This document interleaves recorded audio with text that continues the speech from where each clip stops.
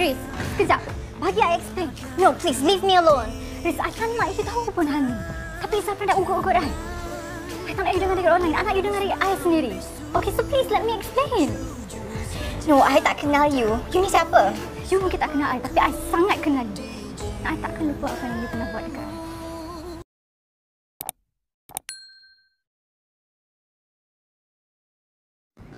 I tahu everything pasal you lah. Apa? You jangan nak buat muka bodoh tu eh.